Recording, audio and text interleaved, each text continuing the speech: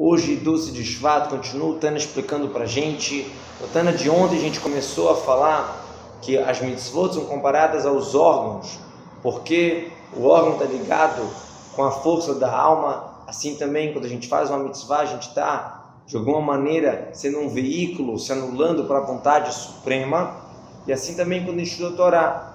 Mas hoje o Tana vem e explica para a gente o seguinte que a vestimenta da fala, quando a gente fala palavras de Torá e do pensamento, quando está pensando, estudando Torá, tem uma conexão muito, muito profunda, maior do que essa questão do órgão, do veículo para a vontade suprema. Como assim?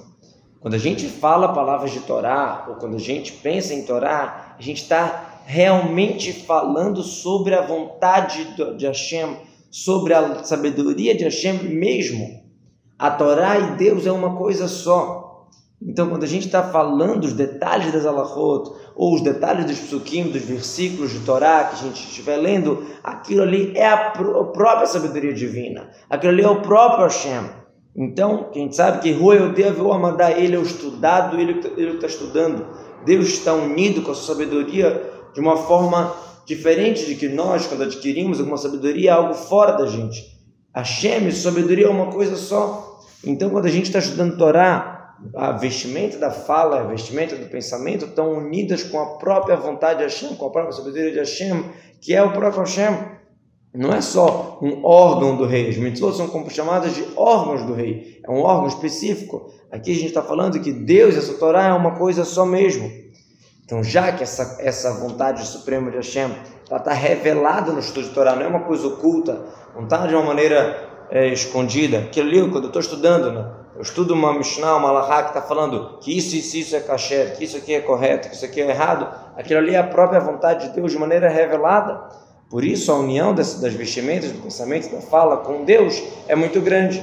E através dessa união, a nossa alma também está se unindo com Hashem de uma maneira muito forte. Isso é mais forte de qualquer unicidade e rudim dos mundos superiores que os mundos superiores são criados com a vontade suprema de Hashem, que é chamado Soveva, luz envolvente de todos os mundos. E eu aqui estou estudando Torá, estou estudando e falando sobre a própria vontade de Hashem, que está unido com o próprio Hashem.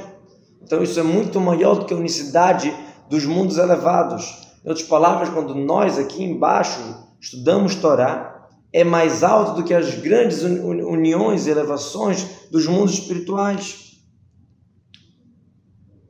por mais que a gente não percebe, por mais que nós não percebemos isso, nós estamos Torá e está tudo tranquilo, tudo normal, não vemos uma coisa muito grande.